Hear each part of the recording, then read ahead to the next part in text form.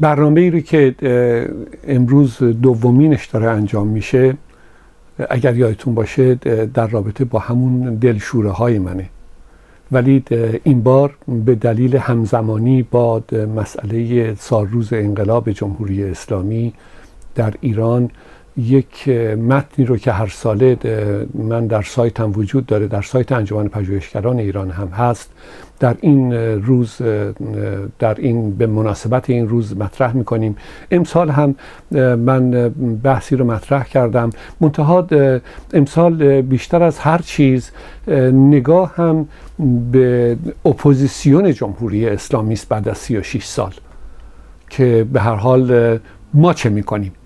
من این رو عنوانش رو گذاشتم 22 بهمن 36 سال پس از انقلاب و در انتظار چه هستیم؟ البته این نامه سرگشاده است که نوشته شده.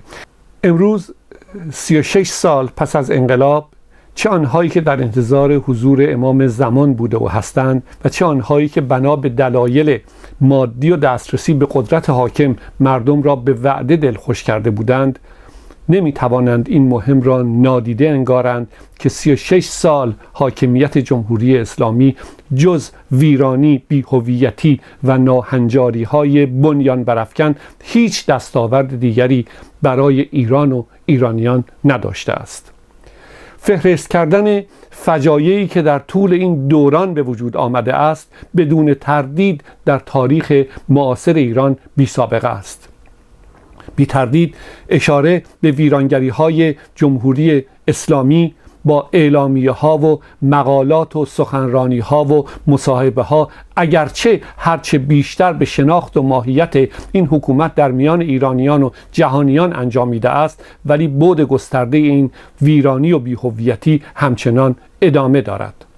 امروز ما ناگزیر هستیم به زمانهای از دست شده خود نگاه کنیم و به این سوال پاسخ دهیم که آیا می توان به برابری و آزادی در ایران چشم داشت و به عمر این حکومت ایدئولوژیک دینی پایان داد و اگر چنین است چگونه می توان دست پیدا کرد؟ کارنامه فعالیت های سیاسی ما در بیشتر از این سه گذشته نمایانگر این است که تمامی نیروهای سیاسی در جریانات فکری متفاوت تلاش داشتهاند که راهی برای خروج از این بنبست فاجعه بار جمهوری اسلامی داشته باشند. اگرچه با انصاف سیاسی اجتماعی باید آن داشت که اگر این تلاش ها هم نتیجه نداشته ولی قابل ارزش است و خود نیز انگیزه بیشتری بر این مهم می باشد که به دلایل به نتیجه نرسیدنش توجه کنیم. واقعیت این است که امروز بیشتر از افشاگری و مقاله و سخنرانی و مصاحبه و فیسبوک باید ببینیم که با تمامی خواست و توانی که در مردم ایران و خاصه نیروهای سیاسی وجود دارد. چرا ما از مخالفین حکومت جمهوری اسلامی کاری ساخته نبوده است و این حکومت ضد بشری همچنان پابرجاست؟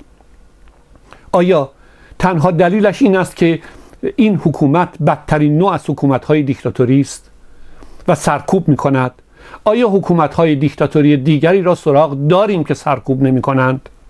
آیا دلیل دیگرش این است که ایادی جمهوری اسلامی با امکانات گسترده در خارج از ایران با همراهی چند رسانه فارسی زبان دولتی که حامی حداقل بخشی از حاکمیت جمهوری اسلامی هستند اجازه پخش هیچ صدای مخالفی را نمی‌دهند؟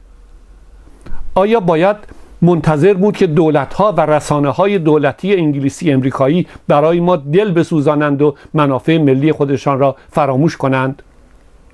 آیا ما ایرانیانی که خارج از ایران زندگی می کنیم که به نسبت امکان آزادی بیشتری داریم فراموش کرده ایم که هموطنانمان چه دوران سیاهی را در حکومت جمهوری اسلامی میگذرانند؟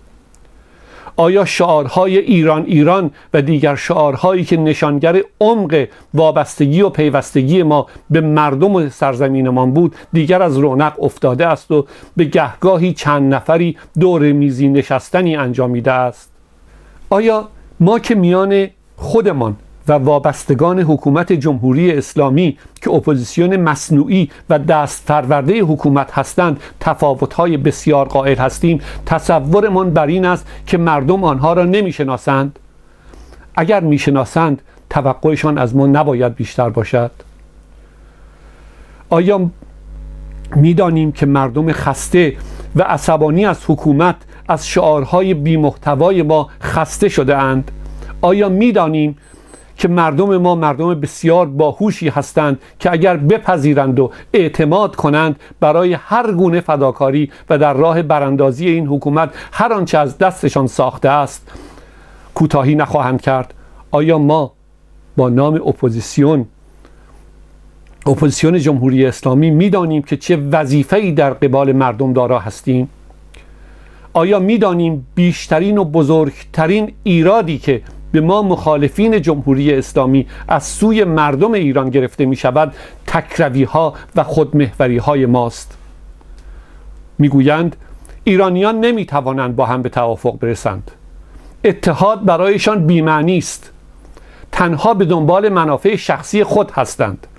همه هیجان زده هستند. هیچ کدام اهل منطق نیستند. همه از همدیگر وحشت دارند.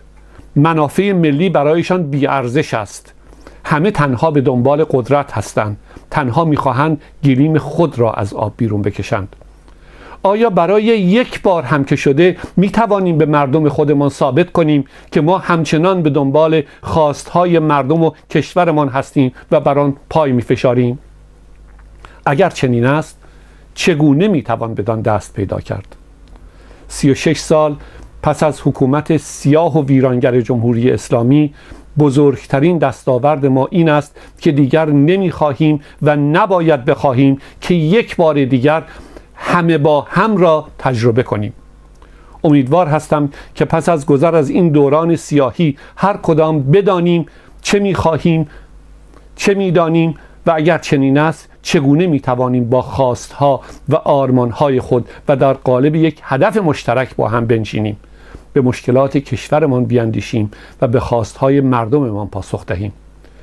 رسیدن به چنین خواستهایی که امروزه به صورت آرزو در آمده است شاید خیلی, خیلی مشکل نباشد. اگر بپذیریم که از گذشته خارج شویم و گذشته را به تاریخ بسپاریم و به آینده بپردازیم. بپذیریم که ما مجموعه ای هستیم از عقاید و تفکرات متفاوت و هر کداممان بنا به آگاهی و یا نوع تربیتمان می‌خواهیم حرف خودمان را به کرسی بنشانیم. ولی تنها باید قبول کنیم که این هر کدام ها می توانند و این حق را دارند که نظرشان را ابراز و بران پافشاری کنند. بپذیریم که رأی من همان اندازه ارزش دارد که رأی طرف مقابل و مخالف من. و به هر دلیلی ارزش رأی من بیشتر از رأی دیگری نیست. بپذیریم به رأی اکثریت احترام بگذاریم اگرچه مورد قبول ما نباشد. بپذیریم ما مجموعه ای از باورها و تفکرات متفاوت هستیم که ارزش سازنده این گوناگونی را امروز بیشتر از همیشه باید بدانیم. بپذیریم که پیشرفت و توسعه پایدار و ساختن آینده ایران بدون حضور فعال و مشارکت برای زنان غیر ممکن است. بپذیریم که ما مجموعه ای از ایرانیان هستیم که از اقوام و ادیان متفاوت تشکیل شده ایم و اگر ما برابری میان خودمان را رعایت نکنیم با هزاران ارعاب و وحشت و اسلحه هم نخواهیم توانست که این مجموعه ایرانمان را که این همه در موردش حساسیت به خرج می دهیم را نگاه داریم.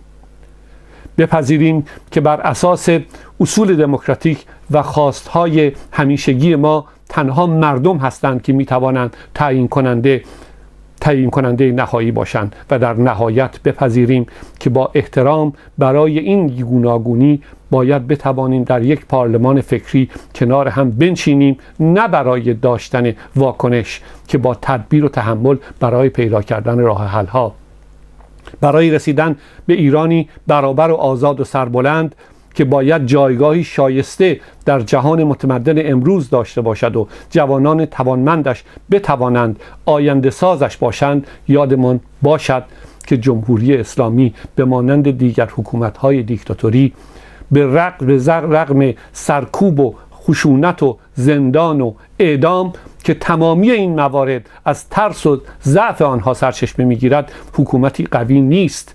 اگر ما مردم به تمامی در مقابلش باشیم و بیستیم.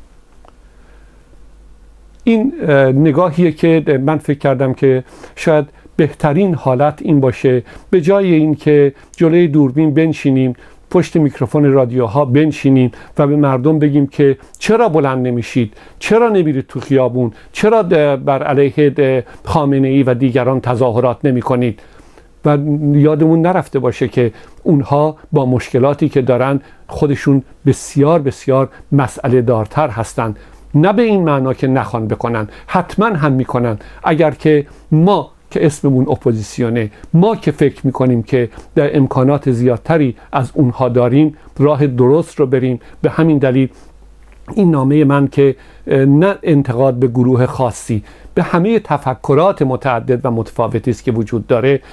شاید راه به جایی ببره شاید انگیزه ای بشه شاید ما هم بتونیم که با هم بنشینیم به دور یک میزی به فکر امروز و فردای بچه هامون و آینده کشورمون که برامون مهمترینه و ثابت کردیم که تو این دوره های بیشتر از سه دهه گذشته همچنان پای مملکتمون ایستادیم پای مردممون ایستادیم.